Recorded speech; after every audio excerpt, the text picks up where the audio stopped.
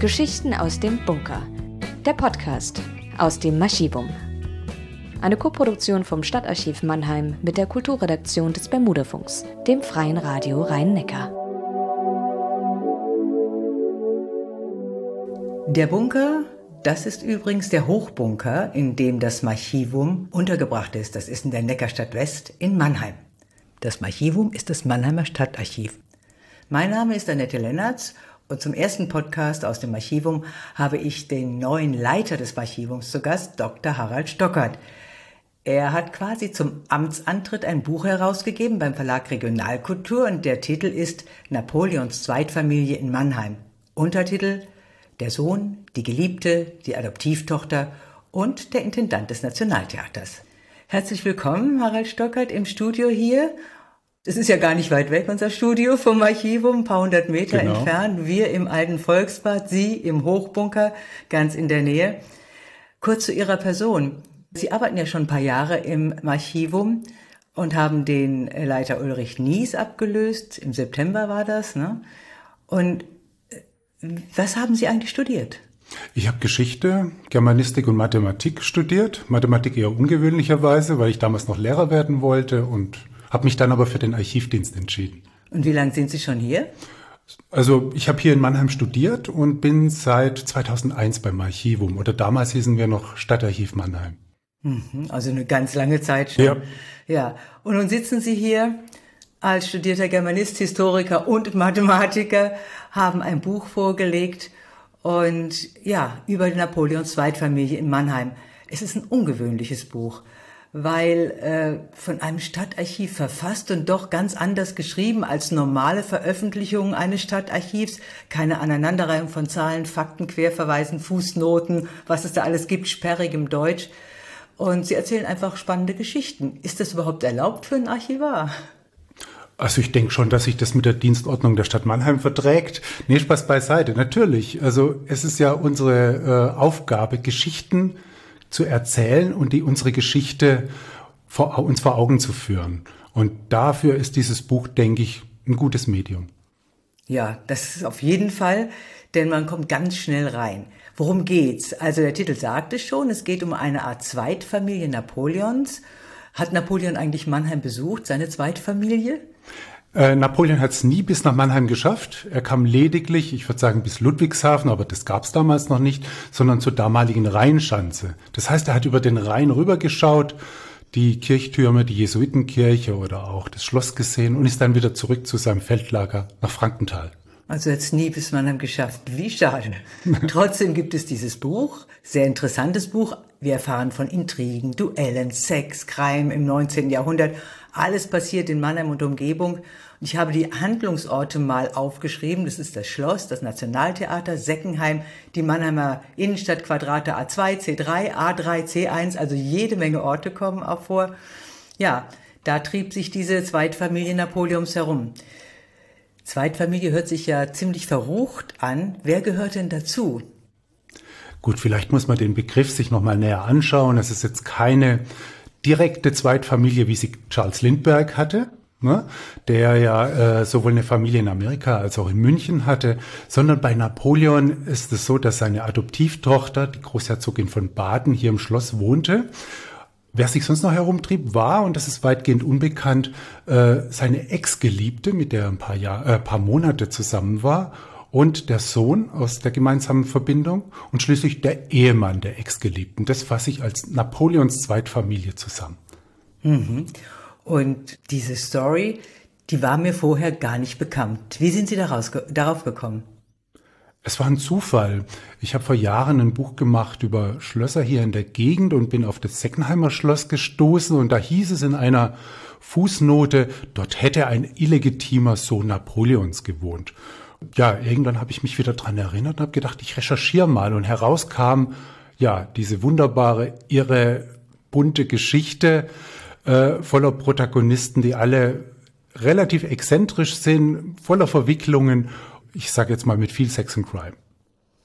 Nur mal zu der Mannheimer Connection. Also bei Stefanie starten wir mal. Die ist ja relativ gut bekannt. Da brauchen wir vielleicht jetzt gar nicht mehr so viel zu erzählen. Diese Stefanie de Beauharnais. Also die uns ja das Stefanienufer sozusagen geschenkt hat, ja, im Waldpark. Von ihr gibt's ja auch nicht so viel Skandalöses zu berichten. Die ist aber eben weitläufig verwandt mit Napoleon, adoptiert worden. Und Napoleon kümmerte sich um die Ausbildung. So war es doch, ne? Genau, also das war eine entfernte Verwandte seiner Frau, der Josephine de Beauharnais, die in der, also Stephanie wächst in der Provinz auf und als Napoleon den, das Ziel hat, einen eigenen Familienclan aufzubauen, der mit europäischen Herrscherhäusern verwandt ist oder verheiratet ist, da ist es natürlich sehr attraktiv, eine junge Frau zu haben, die man noch ausbilden kann und dann verheiraten kann. Und Napoleon gewährleistet diese Ausbildung in einem sehr renommierten Institut, in einem Institut, dem Institut Capon in Paris. Und äh, danach wird Stephanie mit dem damaligen Erbgroßherzog von Baden verheiratet. Und das ist genau äh, die Schiene, über die sie nach Mannheim kommt. Also mit ihm kommt sie nach Mannheim und zieht ins Schloss ein. So war es doch, ne? Genau, 1806 erstmal als Erbgroßherzogin, dann 1811 zieht sie wieder weg, weil sie Großherzogin wird, also ganz wichtig. Aber ihr Ehemann, der stirbt schon ein paar Jahre später und 1819 kommt sie wieder nach Mannheim zurück und hier wohnt sie dann ja fast 40 Jahre. Hm. Ja, dann mal zu Eleonore, Napoleons Geliebte, wie Sie schon angesprochen haben. Über die gibt es ja nun wirklich wilde Geschichten und die interessiert mich echt sehr. Wie wird man eine Geliebte Napoleons? Ja, indem man zum richtigen Zeitpunkt am richtigen Ort ist. Anders kann man es nicht ausdrücken. Eleonore war ähm, ja eine junge Frau, die ebenfalls im Institut Campor äh, ausgebildet wurde, dann aber verheiratet wird an einen Offizier. Und äh, dieser Offizier ist so hoch verschuldet, dass er schon wenige Monate nach der Hochzeit ins Gefängnis kommt und jetzt steht Eleonore alleine da und jetzt kommt ihr ihr Netzwerk zugute, eben dieses Institut. Und ähm, sie wird Vorleserin bei Caroline Bonaparte, der Schwester Napoleons. Und das ist nur noch eine Frage der Zeit, wann sie genau dem Kaiser über den Weg läuft. Und äh, der kommt im Frühjahr oder im Januar 1806 nach Paris, besucht seine Schwester und sieht diese wunderbare junge Frau und es kommt zur Affäre.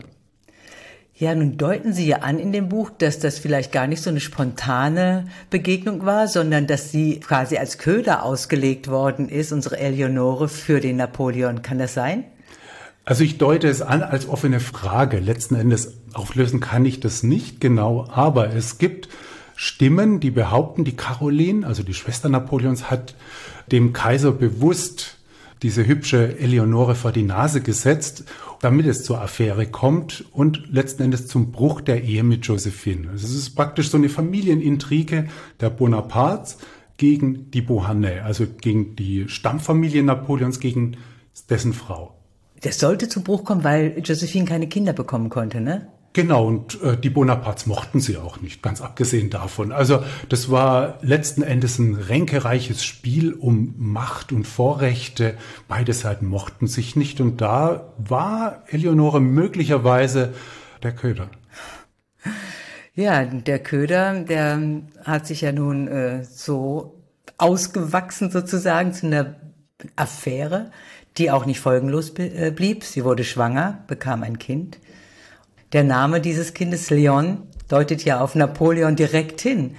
Äh, hat Napoleon dieses Kind anerkannt? Nein, also er wusste davon, also er hat kurz nach der Geburt davon erfahren, war sehr glücklich, darüber Vater geworden zu sein, aber er erkannte diesen Sohn nie an. Er, er soll mit dem Gedanken gespielt haben, aber die Geschichte ging ja dann weiter, dass Napoleon sich von Josephine hat scheiden lassen. Die Tochter des österreichischen Kaisers geheiratet hat, mit der hat er ja einen Sohn. Insofern war das gar nicht mehr notwendig, diesen Leon anzuerkennen. Dennoch kümmerte er sich um ihn, indem er ihm eine gute Ausbildung zukommen lässt und vor allem viel Geld. Er hat ihn aber auch der Mutter weggenommen, als er ziemlich klein war noch. Genau. Das muss eigentlich für die Mutter ein sehr harter Schlag gewesen sein. Nach zwei Monaten wird ihr der Säugling weggenommen, der kommt dann in eine Pflegefamilie also es wird kolportiert und wir sind da ja natürlich auf Nachrichten aus dem Umfeld angewiesen, dass Eleonore überfordert gewesen sein soll. Aber möglicherweise ist das einfach nur eine bösartige Zuschreibung. Ja, wie ging es dann weiter mit Eleonore? Sie hatte quasi ihren Geliebten verloren, ihr Kind verloren. Was machte sie dann? Wir haben einen Punkt noch übersprungen. Sie, oh. ähm, genau, also nicht weiter schlimm. Sie ließ sich scheiden von ihrem ersten Mann und bekommt dann von Napoleon oder dessen Umfeld einen zweiten Mann serviert, könnte man sagen. Wiederum ein verdienstvoller Militär, aber diesmal mit genügend Geld. Also da hat sie dann keine Geldzeugen. Allerdings scheint die Beziehung nicht sehr glücklich gewesen zu sein, denn 1812 im Frühjahr lernt sie jemanden kennen, der aus Mannheim kommt. Und zwar Graf Karl August von Luxemburg, ein gescheiterter Militär, anders kann man es nicht sagen. Und die beiden ja, gehen ein Verhältnis oder eine Liebesbeziehung, muss man fast sagen, ein. Und jetzt kommt den beiden zugute, dass der zweite Ehemann dieser Militär in Russland fällt und Eleonore ist frei und kann Karl August heiraten und das Ganze findet statt in Seckenheim. Also kommt sie nach Seckenheim. Genau. Ja, in Seckenheim läuten die Hochzeitsglocken und damit kommt die Ex-Geliebte Napoleons in unsere Region. Mhm. Und sie war ja irgendwie auch noch mit Stefanie befreundet durch ihre gemeinsame Zeit an ihrem Institut, wie hieß es gleich? Campon. Campon, genau. Genau. Das war eine der besten Schulen und man würde sagen, eine, eine Schmiede für ähm, Ehekandidatinnen, also für äh, Frauen aus der höheren Schicht, die äh, gut verheiratet werden sollten. Genau, Eleonore lernt dort Stefanie kennen und Sinnigerweise ist Stefanie auch die Trauzeugin, die erste Trauzeugin von Eleonore, als die ihren ersten Offizier heiratet. Doch äh, das Verhältnis, das zerbricht, als Eleonore dann das Verhältnis mit Napoleon eingeht. Dann kommt es zum Eklat und die beiden gehen getrennte Wege und letzten Endes kommen die beiden, obwohl sie sich in Mannheim treffen, sie kommen nie mehr als Freundinnen zusammen, sondern es herrscht immer Abneigung zwischen den beiden. Das ist jetzt schade, das hätte jetzt noch auch gut gepasst. Eigentlich ja, und vor allem, man kann sich das vor Augen führen. Beide sind begeisterte Theatergängerinnen, haben beide eine Loge nebeneinander, vermutlich sogar, und können sich nicht ausstehen. Wahrscheinlich haben sie sich da verstohlenen Blickes ab und zu mal angeschaut, aber letzten Endes, es kommt zu keinem Wiederaufleben der alten Freundschaft. Leider. Also fasse ich mal kurz zusammen. Napoleon sorgt äh, für Eleonore, indem er äh, ihren Mann verschafft. Genau.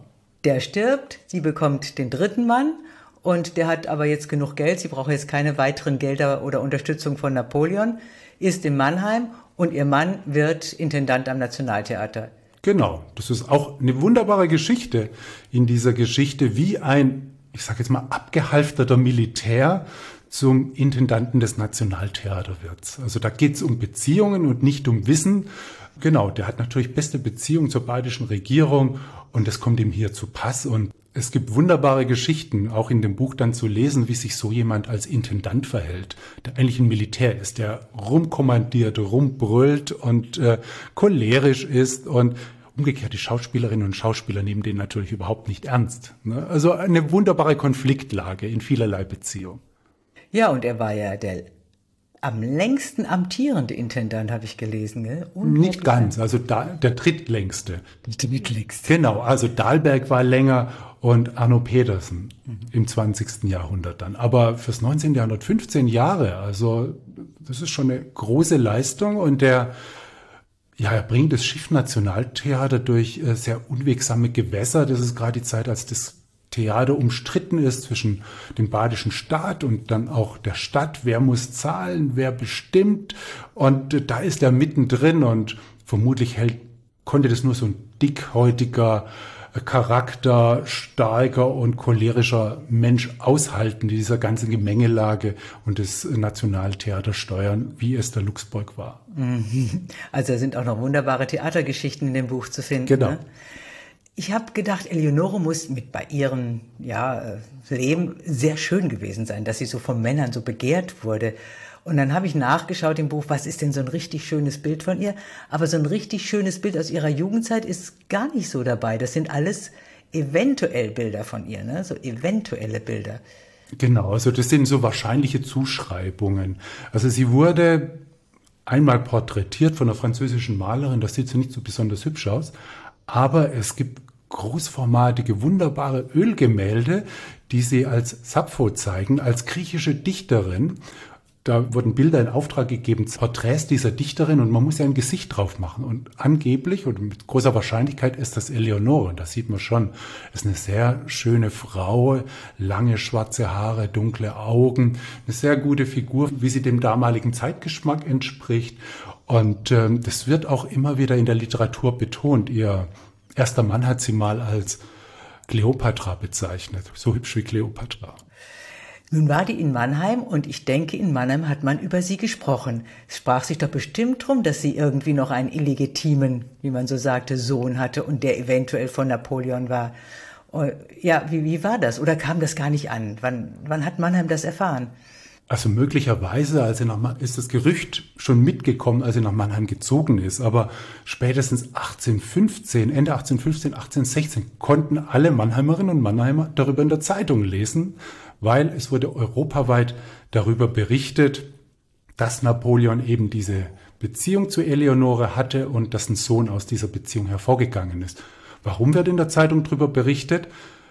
Ihr erster Ehemann, von dem sie sich hat scheiden lassen, der taucht wieder auf und versucht jetzt einen Rachefeldzug gegen Napoleon, der ja zu der Zeit schon verbannt ist, zu starten.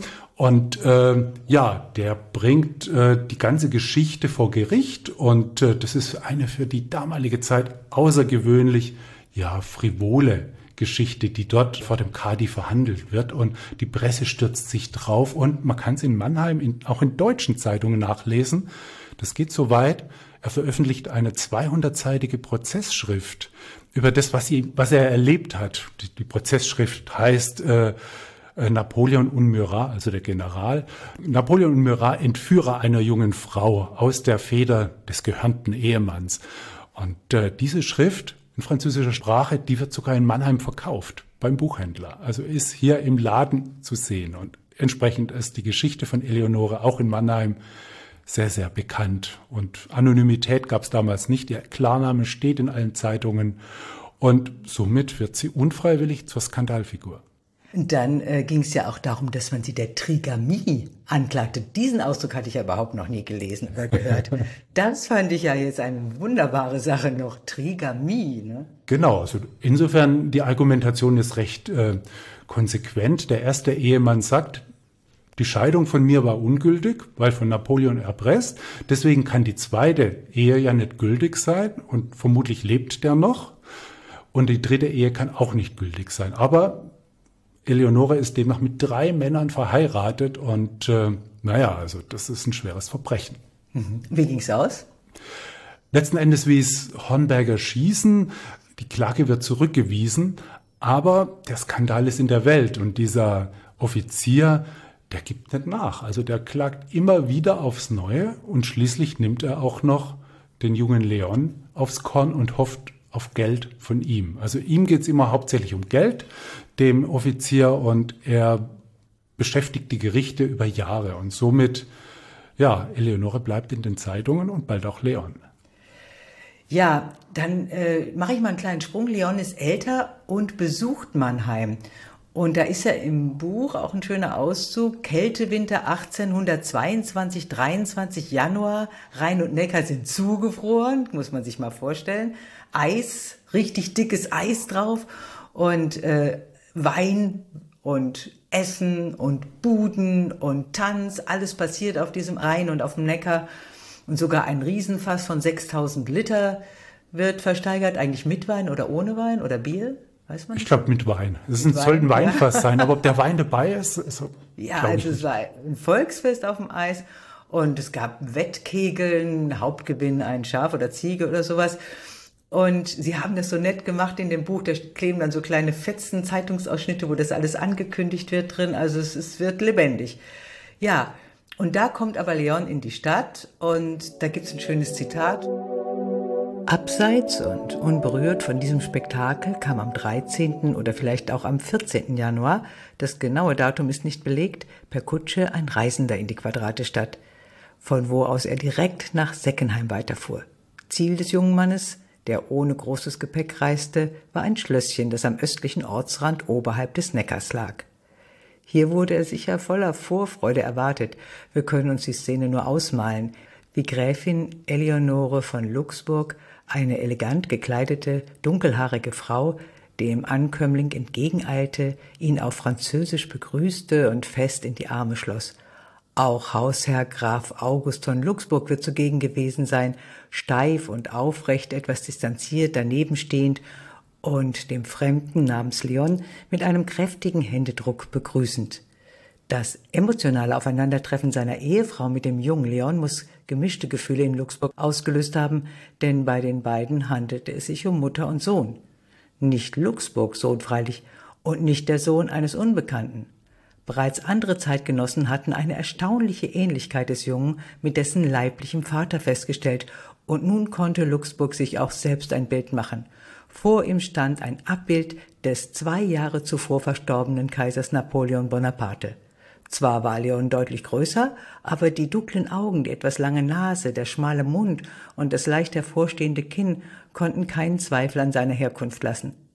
Selbstverständlich hatte Luxburg gewusst, dass seine Frau für kurze Zeit die Geliebte Bonapartes gewesen war und mit diesem einen Sohn hatte, doch dies schien ihm vergangen und weit weg, und nun stand ihm Leon vor der Haustür leibhaftig gegenüber und damit auch die pikante Vergangenheit seiner Ehegattin.